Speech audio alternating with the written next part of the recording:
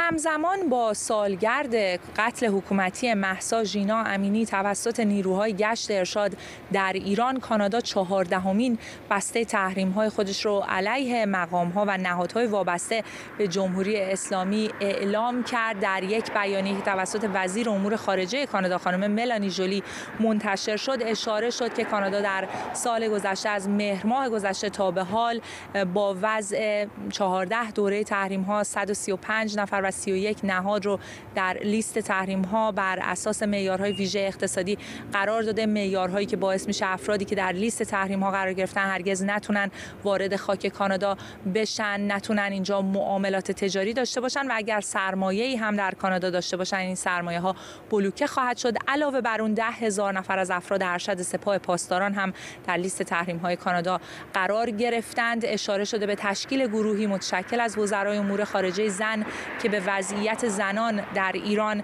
رسیدگی می کنند اشاره شده به اینکه کانادا برای 21 کمین سال متوالی قطنامه مجمع عمومی سازمان ملل در مورد وضعیت حقوق بشر در ایران رو رهبری خواهد کرد و ادامه داده شده که کانادا همواره در کنار مردم ایران می ایسته تا بتونن از حقوق اولیه خودشون دفاع بکنن. در این بیانیه همچنین اعلام شده که دولت جمهوری اسلامی همواره به سرکوب مردم ادامه میده. اونها رو تشدید می‌کنه و شنونده فریاد عدالتخواهی مردم خودش نیست. کسانی که در لیست تحریم های چهاردهمین دوره قرار گرفتن افرادی هستند از شورای عالی انقلاب فرهنگی. کسانی که گفته میشه کسانی هستند که تحمیل کننده حجاب اجباری به زنان بودن و سه نفر هم از افراد ارشد سپاه پاسداران هستند که برای اسامی اونها میشه اشاره کرد عبدالحسین خسرو،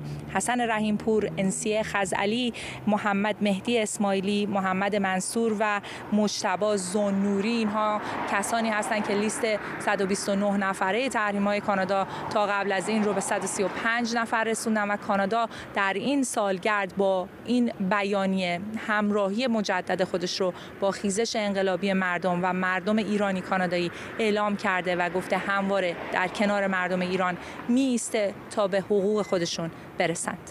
محسا مرتضوی تورنتو.